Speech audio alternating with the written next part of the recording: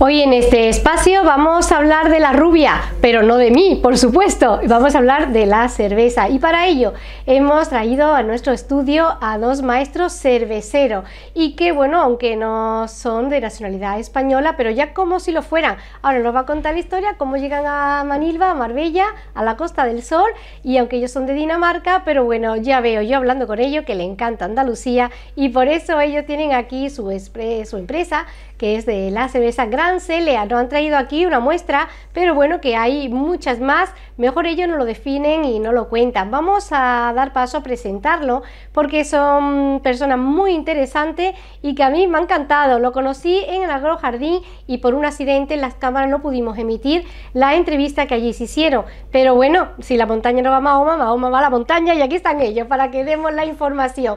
Bueno, comenzamos presentándolo a Freddy a Mars. ¿Qué tal? Buenos días. Estamos encantados de que hayáis venido hoy en nuestro espacio, aquí en la televisión, a hablarnos de un producto que vosotros mismos elaboráis.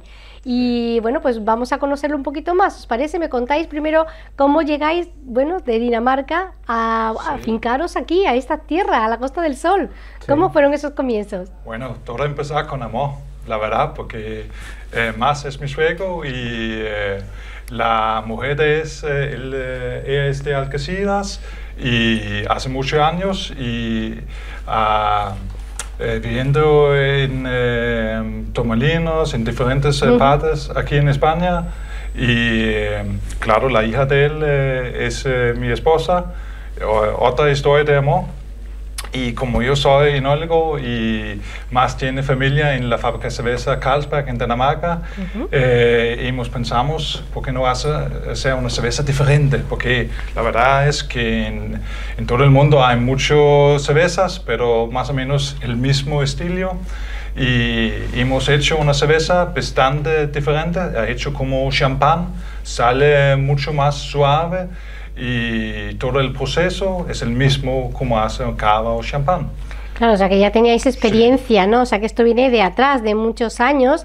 Y ya, bueno, pues decidí ponerlo, ya que os gusta esta tierra, de ponerlo aquí, no en Manilva concretamente, ¿no? Es donde estáis ubicados. Sí, tenemos la fábrica en Manilva, porque ahí la agua bastante bien. Tenemos un filtro también, pero como la agua es muy importante para hacer una cerveza buena, eh, hemos eh, encontrado este sitio.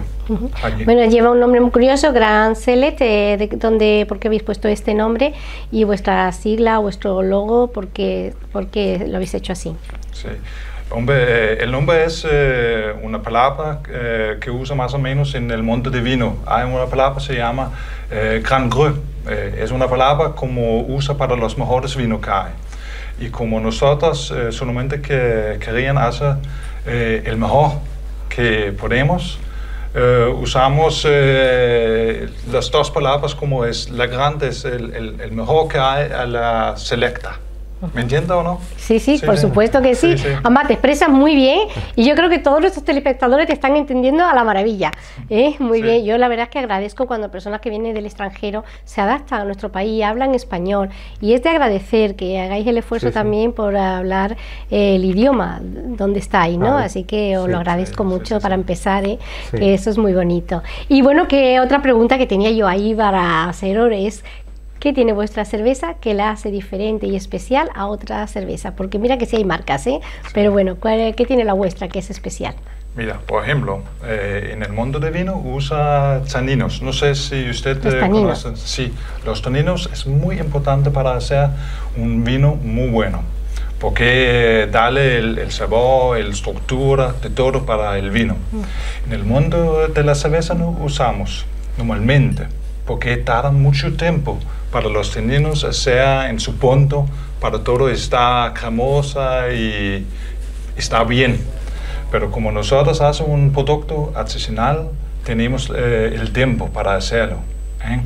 Eh, como jamón tarda tiempo para salir bien, ¿no? que esté curado, claro. Sí, sí, sí, necesita tiempo. Y claro, nuestra cerveza necesita tiempo y la verdad es que tenemos una cerveza que está más un año dentro de nuestra bodega eh, y, claro, sale diferente. Y, otra cosa es que nuestra cerveza puede poner en, eh, en, su casa y espera años y va a cambiar muchísimo. Va a ser una experiencia oh, de gloria. ¿eh? Bueno, bueno, qué maravilla. como no filtramos las cervezas, es un producto vivo que se puede meter en la botella y se cambia con el tiempo. Es curioso, es una cosa que no sabía. Siempre aprendemos algo nuevo, ¿eh? Sí, sí, sí. y bueno, es, es difícil hacer cerveza, es complicado. En realidad, eh, tú puedes hacer una cerveza muy rápido para usar químico y todo esto, pero para hacer una cerveza de alta calidad eh, bastante difícil porque necesita tiempo, necesita saber mucho cómo hacerlo bien, porque si no sabe, el producto sale diferente el próximo vez, ¿me entiendes? Yo la verdad es que yo no lo haría, ¿eh? Yo no voy a hacer competencia vuestra porque nunca me iba a poner yo a hacer cerveza. Me parece complicado porque si hablamos de que lleva lupo, levadura, una serie de, elementos, ¿no? Que si no lo pones en su justa medida y tal, incluso se puede uno intoxicar o ser prejudicial, ¿no? Me parece un mérito de físicos, de personas realmente que aman este trabajo como vosotros, que se os ve, que os gusta lo que hacéis, ¿no?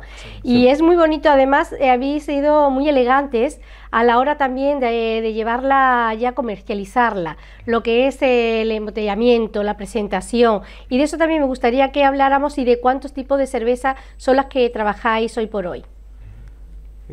¿Cuántos tipos de cerveza, por ejemplo, tenéis vosotros? Eh? Tenemos por el momento tres tipos fijos y después hacemos, eh, le gustamos jugar con las materias primas y elaborar otros tipos de cervezas fuera de, la cama fija. Así, por ejemplo, como esta que tenemos, hacemos eh, unas elaboraciones eh, limitadas. Esta es limitada, ¿no? Sí, esto hemos hecho de 200 unidades. Anteriormente hemos hecho otro tipo de 125 o 75 bueno, o sea, que el que sea coleccionista de este tipo de, bebida la puede coleccionar, porque son series limitadas que, bueno, pues eh, ahí están, ¿no? Y bueno, ahora que estamos, eh, lo hacéis todo el año así, ¿no? Porque ahora estamos en Navidad y, bueno, pues es como la persona que le guste la cerveza, pues en vez de champán o cava o vino espumoso pueda brindar con cerveza. ¿Y es un envase que lo tenéis todo el año también? ¿O qué tipo de envase y en qué formatos o cuántos eh, centímetros? ¿De cuántos centímetros? Este es el envase que llevamos siempre.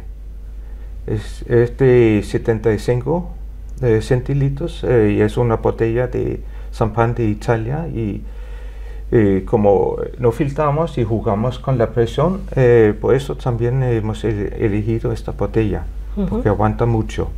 Y sí, envase oscuro también. tiene un cocho también de champán de alta calidad Vamos a cogerlo aquí que se vea mejor, porque también es muy curioso, porque es verdad que cada vez se ven menos mm, botellas oscuras.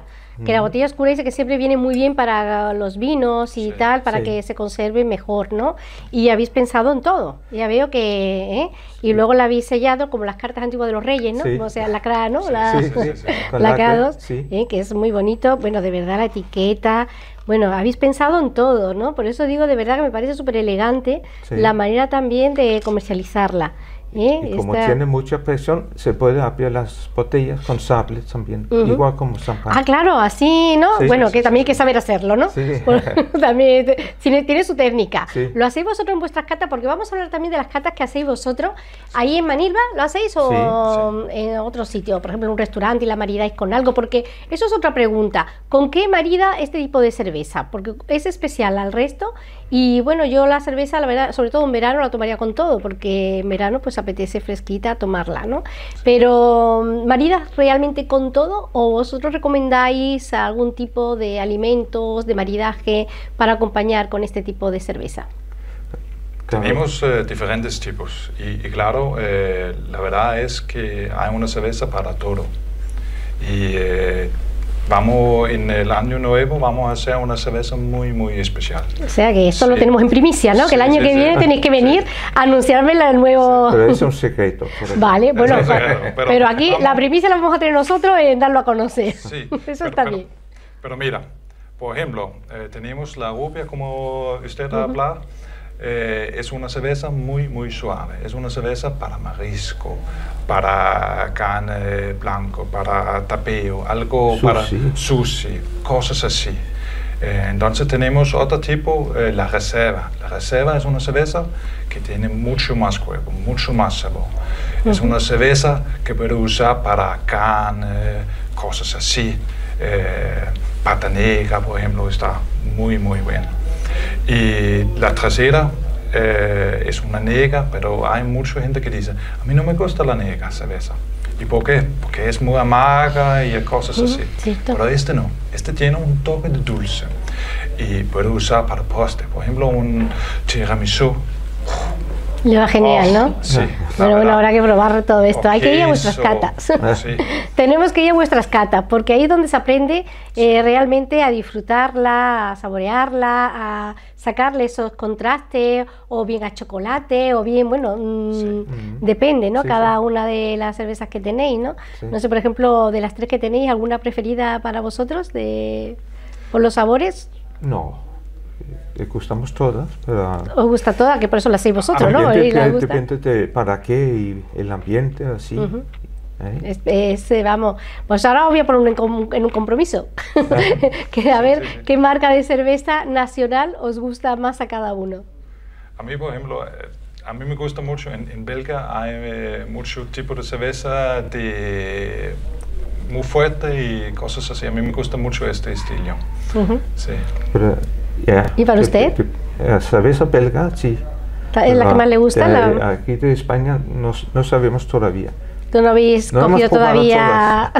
bueno, sí, está bien, no damos marcas, No, porque no. estamos hablando de Gran Sele, que es la que consumí esta fiesta, estas Navidades. sí, claro. Bueno, las catas, ¿tenemos fechas concretas de cuando tenéis cata o hay que llamaros y organizar?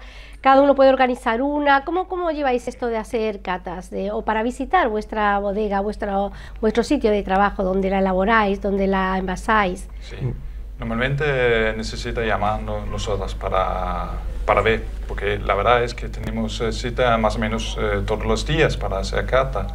Y claro, hay gente, quizás solamente eh, eh, dos parejas que quiere ver la fábrica, puede también llamar y, y va juntos con otros grupos eh, sin problema. Oye, qué bien, interesante. Yo me apunto, ¿eh? cuando termine la fiesta, Sí. voy a visitaros, ¿eh? a Sí, que me enseñéis un poquito cómo trabajáis, eh, es todo, el proceso, dónde se guarda. Eh, la verdad es que me parece muy interesante porque estamos aquí en una tierra que realmente siempre tenemos sol, siempre tenemos buen tiempo Sí. y parece que los productos que vienen de fuera le damos como más importancia, no hoy por hoy ya menos, ¿no? Pero sí que tenemos aquí productos buenísimos aquí en la Costa del Sol y hay que promocionarlos y hay que darlos a conocer a todo el mundo, tanto al de aquí, al español como al que viene de fuera. Sí, es claro. un atractivo más Sí. ¿eh? de cosas que claro, tenemos y para, para verlo en vivo y en directo. Me ha Vale. parecido genial. ¿Tenéis alguna página web para seguiros, para ver más cosas, informarnos más eh, de lo que hacéis? ¿Qué página es la que podemos dar a nuestros telespectadores? Sí, el- el- el- nuestro nombre, canteselect.com. ¿Así? Y ya está, Sí, ya es vamos a... mm, y para teléfono, para, para citas, Sí. para una cata. Nuestro teléfono, eh, 653 26 80 26. Ujú. ¿Estáis contentos porque este proyecto nació? ¿Qué año nació este proyecto? ¿En qué Sí, año hace nace? dos años y medio Nace más en el sí. 12, en el, Sí. en- en- ya, entre 12 y el 12, 13, sí, ¿no? Pues estamos ya sí. casi entrando en el 16, Ya, sí. o sea, de- más o menos, ¿no? Sí. Y hasta hoy estáis contentos co- porque los comienzos son duros siempre, ¿no? ¿Estáis contentos cómo va el proyecto? Sí. Sí, estamos muy contentos. Claro, es un producto que tarda tiempo para llegar en toda España, pero ahora mismo está en muchas partes del sur, estamos en el norte y tenemos contactos que, con Portugal y Sí. Inglaterra y todo va a subir Poco a poco. Todo subiendo como la Sí, espuma, sí, ¿no? sí, sí. Nunca mejor Eso dicho, ¿no? es, Porque es eso es. verdad, ¿eh? Sí, sí. Porque siempre una cerveza tiene que ser eso, ¿no? Espumosa, cremosa, ¿no? Como, Sí. ¿no? Como de- sería la, la definición una vez que está en el vaso. ¿Cómo definís eh, el- todo lo que está en el contenido del vaso? ¿Cómo lo definiríais? Yo, yo, yo digo una cosa, Sí. por ejemplo, para mí, esta cerveza puedo usar para el 31, eh, para... Fin de 30 año. Sí, el fin de año es una, una idea estupenda para hacer algo nuevo, porque todo el mundo bebe el mismo, ¿eh? Eh, cava, champán, ¿por qué no usa una cerveza? Pero una cerveza con una experiencia muy diferente. Eh, tenemos gente que dice, a mí no me gusta la cerveza. ¿Por qué?